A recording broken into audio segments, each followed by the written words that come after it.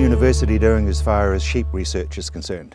Well, we've, we've um, got the Lincoln Sheep Program uh, established now. Last year was the establishment year. We're pretty much up and running. There's still a few loose ends that have got to be tied together. Uh, but we've got two or three trials um, planned for this year. Uh, the main one is probably a parasite management comparison on our summer safe unit. Uh, we've also got a repeat of the double lambing um, pilot trial that we did last year uh, and we'll be doing some um, work with uh, um, urea use and um, parasite management on finishing uh, units as well. So those are the three main um, uh, trials that are there. The main focuses. The main well, the main focus still remains the resilience and and uh, consistency of production, productivity and resilience on sheep farms. So that's the main focus. Can you expand on the, the parasite trials? Okay, um, the parasite trial base is based on uh, the notion that the main source of um, larval uh, infection in pastures is the breakdown in immunity uh, in the periparturient ewe, which is the ewe around lambing. Um, she loses her immunity to the parasites because of the high demands for energy and protein for lactation, uh, gestation and lactation. Um, and because she loses that uh, immunity, you get a massive increase in the, in the viable eggs shed through the feces. That contaminates the pasture and that um, is the source of infection for lambs. So we figure that if you can replace or uh, increase the, particularly the protein uh, availability to the ewe, you might be able to um, overcome that loss of immunity.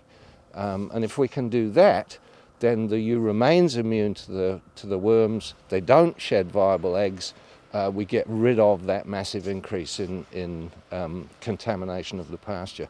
The lambs will then not get uh, infected to the same extent, and hopefully that means we use far less drench, which of course uh, means much slower build-up of drench resistance in the worms, and that's the real, that's the long-term real benefit of this, is that it slows down drench resistance.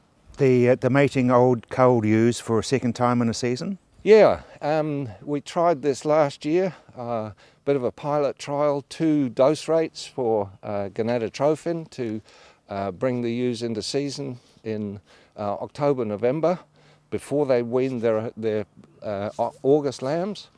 Um, the low dose treatment didn't do an awful lot. Uh, the high dose treatment, we got 55% lambing from um, mating in November, uh, lambing in March. Um, remembering that these are the cull ewes, so anything that isn't marked by the ram can be culled immediately, that it's weaned from the first set of lambs. So you're only carrying maybe nine, 10% uh, of you use through the summer um, to, to autumn. So obviously it's not a, a, summer dry option, it's a summer safe option. Um, and that 55% lambing translates into around about 10% uh, extra lambs um, each year. And they're lambs that you're uh, they're born in autumn and available for sale very early in spring when the prices hopefully are quite high. But I'm not going to get into the business of predicting prices. So, but generally speaking, prices premiums exist early in the season. So we've still got to work some more, make sure that we've got the numbers right, but we see some potential for that. And the work that you're doing with nitrates? Um, this is also associated with uh, uh, parasites. There is some evidence that um, urea, for example, if you soak parasite larvae in urea. They don't like it. They basically die. So we want to check to see whether a, a, um, a um, dressing of urea, liquid urea, uh, after um, weaning will get rid of whatever parasites are around in the pastures at that time. So it's, it, it's a bit of an exploratory trial just to see if that's another uh, option we've got in terms of parasite management. Tony, everybody's predicting another long, hot, dry summer like last year. Yeah, here we go again. Um, well, I'm not into predicting either weather or prices, Rob, but but if we do, I mean, I the story that we've been um, basically talking about in the last year is is um, flexibility in order to have resilience in, in these kinds of circumstances. And our um, basic notion is that you stock to better than average conditions, so a high stocking rate, but you do it with flexible stock so that you can retreat from that if and when it gets dry. Okay, and you need to know that it's getting dry. That might sound silly, but but um, people need to react quickly, not well after it's all dried up. Okay, so you've got to be tracking soil moisture, for example, uh, to see where you are.